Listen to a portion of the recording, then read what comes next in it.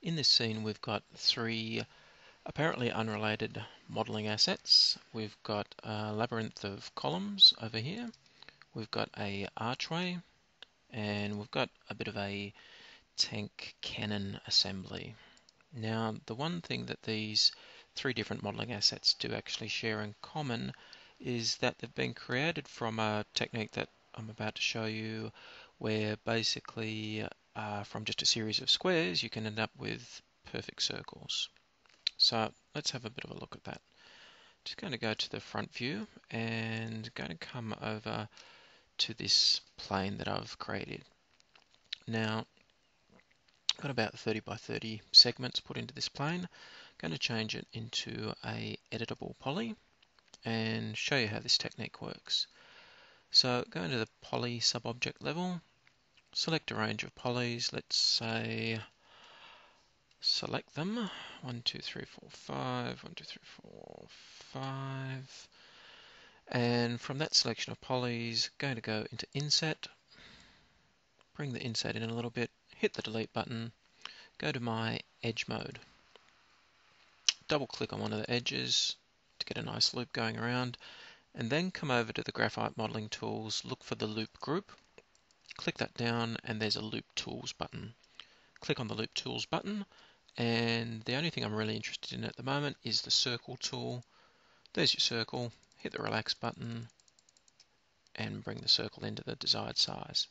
And that's the basics of what we want to do. Now from there I could uh, create a column, I could create my uh, tank cannon, and I can create also my archway. So I'll show you that in a little bit more detail right now. So let's have a look. First of all, if I was to create a column or a tank cannon, which pretty much the same thing as a column, from this, here are the steps that I'd follow. I'd actually go into border mode, and I'd just cap off that area then go into polygon mode, click that poly, use my extrusion button, extrude that up, tilt it so you can see what's going on. And there we go. There's your column or there's your tank cannon. Now, let's have a look at that again, but this time in the context of creating an archway, which is a really uh, common thing that you will be creating when you're creating any sort of uh, architectural design castles, houses, they usually always have arches somewhere and it's a bit of a pain to figure out how to make those. So, I'll just jump into front view and zoom back in. So let's have a look. We're going to uh, select a range of polys. Again, I'll stick with the 5x5 at this stage. Going to inset them in, delete, go to edge, double click, circle. Now I can use the relax button as I did before or the scale does the job just as well. Either way is fine. Now from there what I'll do, go into polygon mode and select my polys and I'm going to do a, a, shift move just to create a clone and I'll call it arch and OK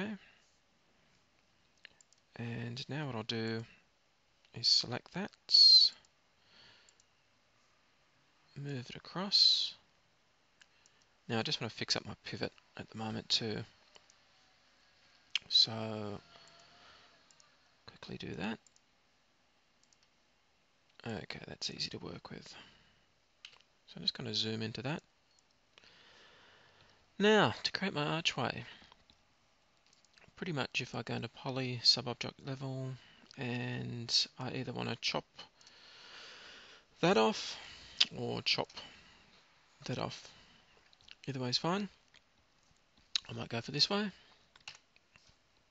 And essentially what you can do from there is I could then just select these two bottom edges and start to drag down. Simple as that. Now there's some unevenness that I would want to take care of here.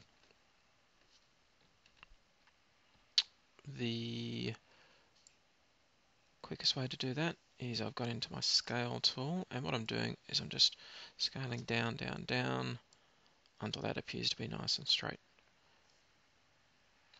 Okay, let's have a bit of a look at that. There you have it.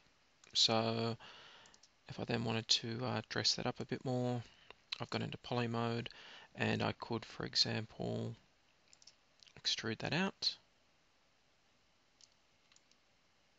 And that is definitely the making of an archway.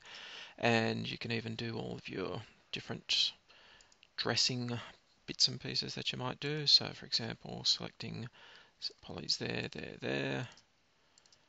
And I might choose to either bevel those in or extrude them in. Let's try bevel. And I could either come out or in, whatever I felt was right. So I'll actually go out and then with the second part of the bevel, just in a little bit like that. just to get some of that basic decoration that I'm after. That's a bit over the top to say the least, so I might uh, pull those back. But you get the idea. So that's the tool and its basic use. Just one thing to keep on mind while we do talk about it. If I come back over here to the main grid, front view and zoom in, you need to select enough geometry to get the effect that you're after. So for example, if I just select 4x4, that's really not going to be enough. This is what's going to happen.